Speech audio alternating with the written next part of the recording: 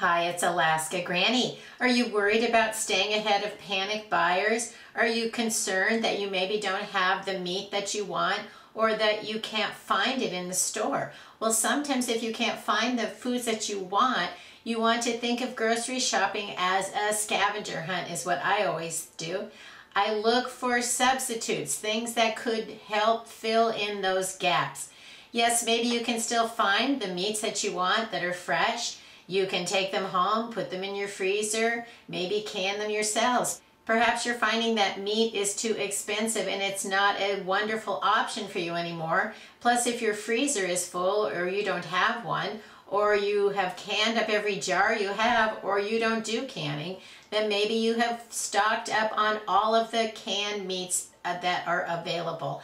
So what do you do next? If the meat is gone or you can't afford to buy it anymore, you can still stay ahead of panic buyers by looking for ideas of things that include meat that maybe are in a different area of the store that you didn't think about before. Think about lunch type foods and you can find individual packets of different kinds of meat. I like to buy the salmon, I like to buy tuna, I like some of the flavored tunas such as the lemon pepper, but some of them are not to my liking. I've tried them, I don't like them, and so I don't want to stockpile them anymore.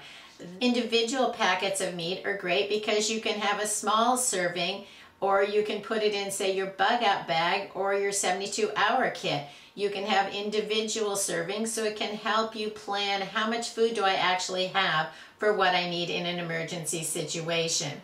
If you're one person and you want to have a serving of meat every day, you could buy seven of these. You have seven days worth of meat. And they come in different varieties, so it's giving you options that you're not eating the exact same thing every single day.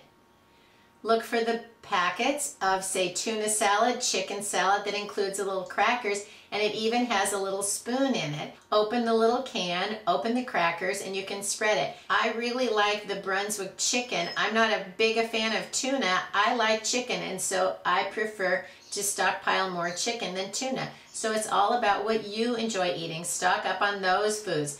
I think you can find these in ham, tuna, chicken. Look around. Maybe you can find other varieties of these little spreadable meats. And what's surprising is even with crackers in them, they have about a year's shelf life. The crackers would be what would become stale, and then the can is a pull off the top like you find inside, say, Pringles potato chips. It's not a solid can that might last longer, but these are really good. These are handy to have. They make a full serving. There's actually quite a bit of food that's filling in these. Plan to rotate them close to the date simply because the packaging is not going to be the longest lasting. They're a mixture of ingredients. Plus you don't want your food to spoil before you have a chance to use it. So buy as many as you think you can use and then if you eat one then you replace it. If you want to build your stockpile when you use one buy two and then you have more and that's how you build up your prepper pantry.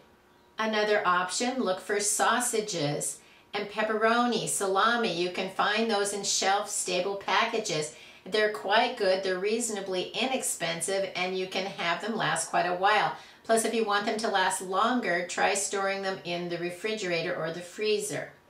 Look for varieties of jerky. You can find turkey jerky, beef jerky, pork jerky. You can find it in all different types of flavors and seasonings so that you have a huge variety. You could eat these on the go right out of the package or you could uh, drop them into something that you're cooking and they would rehydrate and be more like fresh meat. You could add them into a rice dish, ramen dish, into pastas, macaroni and cheese. There's all kinds of things you might be cooking. You could drop these in while those foods are cooking and this would rehydrate and be a little more soft and more like a serving of meat. Look for bacon bits. You can find artificial ones in a little shaker jar, give you a little meat flavor, or you can find real bacon bits which add real meat into a dish that you're preparing. Look for bouillon. You can find it in cubes, you can find it in little powdered packages, you can find it in jars. Find a brand that you enjoy eating and find it in a format that is the size and serving that you would want. You need to read on the ingredients. Some of these include a lot of crazy ingredients like monosodium glutamate. So if you don't want to eat monosodium glutamate, make sure that you're reading so that you're not getting more than what you want. There are all many different brands and concoctions, so likely you can find one that would be nice to have in your pantry. Then these take up way less space than having cans or boxes of broth. Look for something like the Loma Linda products. They're plant-based, but they're quite good. They're very nutritious, and they're designed to be meat replacements. You can find taco filling, you can find fishless tuna, and even packets of sloppy joe. Loma Linda also has some just full meal type grab and go uh, foods that are quite good, and they are really top quality. Loma Linda is part of the Seventh day Adventist Church, and they are vegetarians. Loma Linda has producing top quality vegetarian type dishes since 1890. Don't panic yet. You can still find canned foods that include meat as part of their recipe. You can get chicken a la king, chicken and dumplings. How about sausage gravy? You can find them in cans. You can find different manufacturers. You can also find a nice sausage gravy by Pioneer Gravy that I think is quite tasty. It's in a powdered form and so it takes up way less space in your prepper pantry, but then you need to actually be able to add water and prepare it. So sometimes having something you can just open it that's already prepared in a can can be a benefit. Look for different kinds of stews. You can find beef stew. You can even find pozole, which is a pork stew that's uh, commonly found in Mexico. So look for that on a Hispanic aisle if you can't find it on the regular canned food of easy, ready-to-go meals. Look for different recipes of chili. You can find chicken chili. You can find beef chili. There are different varieties. You can find different manufacturers. They're going to have different flavors. You can also find chili with no beans, which tends to have more meat in it, and then you can add a can of beans and make it your own kind of a recipe. Chili with no beans is also a nice sauce. Maybe you want to serve it over some of your pasta. Look for tamales. They come also chicken or beef. When you open a can of tamales, they're wrapped in paper. So pour out the sauce, unwrap the tamales before you prepare them in your dish. Look for some of the pasta meals like by Chef Boyardee. You can get beefaroni, spaghetti and meatballs.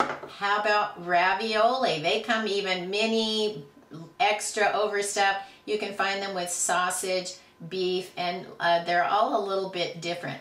One of the items that I found was the lasagna. It doesn't have any meat in it anymore and it is not very tasty. So if you were looking at trying the canned lasagna, I would steer away from that one.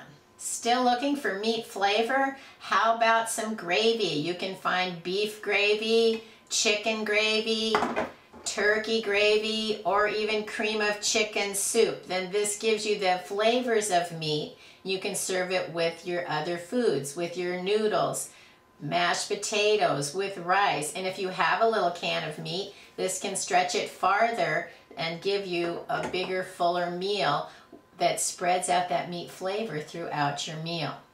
Check out the soup aisle. Find ones that include meat. I think it's getting harder to find soups that include meat. Everything seems to be minestrone or tomato with something else in it or just vegetable or vegetable with noodles. They don't seem to have the options with meat. They're much harder to find since the pandemic but you still can find them something besides just chicken noodle soup. Look for chicken cheese enchilada flavor or pub style chicken pot pie. I've also found a sausage gumbo, which is pretty good. If you see something you think you might like it, buy one and take it home and try it. And if you don't like it, don't buy any more. Stock up on foods that you enjoy eating rather than just foods that were on sale or nobody wants to eat. You can also find beef kinds of soup, sirloin steak, sirloin beef. I think they even have some like beef stew types of soups. Uh, you can find beef with vegetables and barley. And you can buy the little cans or the big cans. I was surprised that these little teeny cans are now $1.79. The chunky soups are nice. You can serve them over rice, mashed potatoes, noodles, biscuits. Serve them with some toast and you can make a big meal out of some of the chunky soup. The little cans of soup tend to be more a bowl of brothy soup. The prices are really going up as the varieties are going down and we're having a harder time finding the selection of foods that we want at prices that we can afford. When you go to the store and you're looking for meat, don't panic if you can't find the meats that you want. Look all around, think creatively, find some foods that include the meat flavor that you want, and then find the ones that you enjoy eating and stock up on those for your prepper pantry. Get there ahead of the panic buyers, that's for sure. We don't know what's coming, but it's going to be a bumpy ride ahead, I'm afraid. If you enjoyed my video, I hope you'll share it with someone else you think might like it. Please subscribe to the Alaska Granny channel.